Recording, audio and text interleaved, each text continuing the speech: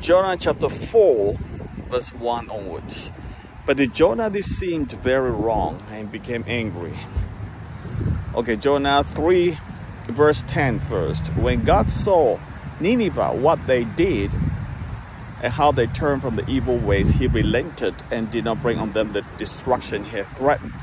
But to Jonah, this seemed very wrong. Jonah 4 onwards. And he became angry. He prayed to the Lord, Isn't this what I say, Lord? When I was still at home, this is what I tried to forestall by fleeing to Tarshish.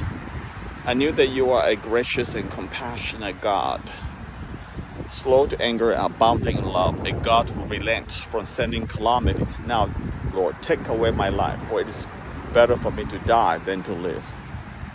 But the Lord replied, Is it right for you to be angry? this is amazing story. Jonah was sent by God. God sent Jordan to go to Nineveh to proclaim that in 40 days God will destroy the city because of the evil deeds. Now, let me tell you the story about this. Who is Nineveh? Nineveh is the capital Assyria nation. Assyria nation is the most brutal, powerful nation of earth at that time. Their brutality is stemmed from the fact that there is no God, godless society essentially, but they believe some sort of polytheism Polytheism is a lot of gods competing for one another and killing one another essentially. The, the stronger and the fittest killing the weakest, the weaker ones.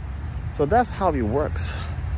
And uh, this is how it, it, the, the, the nations evolve, right? Like evolution is based on that. The, the, the stronger destroy the, uh, the weaker. Because there's no justice in all this stuff. Um, so that's a consequence of a no one God society.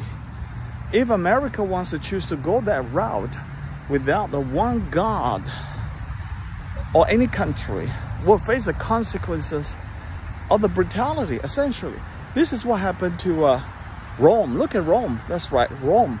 Rome, the Roman Empire during Rome's time, Constantinople, not Constantinople, the one before the uh, Caesar and all this stuff. They, they, they are the most gruesome society. There is absolutely no looking after the weak and the poor. There is no no such thing. There, is there is there, there, this history is gory. They enjoy in in in seeing uh, gladiators killing one another, and about thousands, about uh, tens of thousands of Roman citizens, spectators, they would just enjoy people being killed by gladiators or, or gladiators kill one another and, and, be eaten up by lions right in front of their very eyes. They enjoy watching these things. What, what do you make out of that? Where does that cruelty, evilness, and goriness come from? They come from, that's what Augustine in the, in the city of God give a devastating critique to to Rome, the city of polytheism, because there's so many gods in the Roman world at that time, that the consequence is stemming from the one they worship. The, the, the God they worship, the gods that they worship is always competing, fighting against one another. And because it is polytheism, there is no one God said at all, and it's just fighting one another for dominance.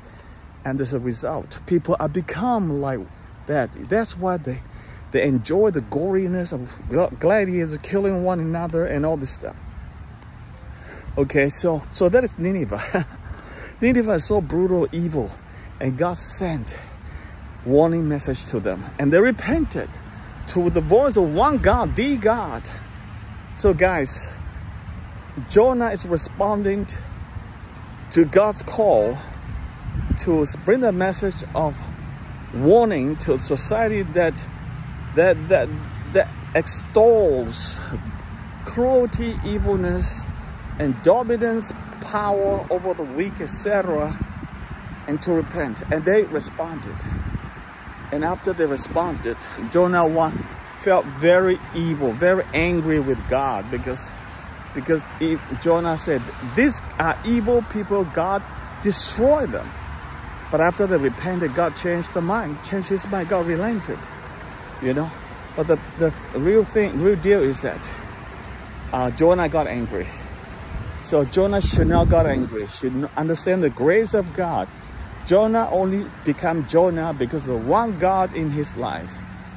The Nineveh, the Ninevians, did not have that kindness and the godliness and the compassion and all this stuff because of the absence of one overall God because Nineveh believed in multiple gods. And that's the consequence of downfall of a civilization. The one God, Jesus Christ, is so important in the city and our civilization. Amen.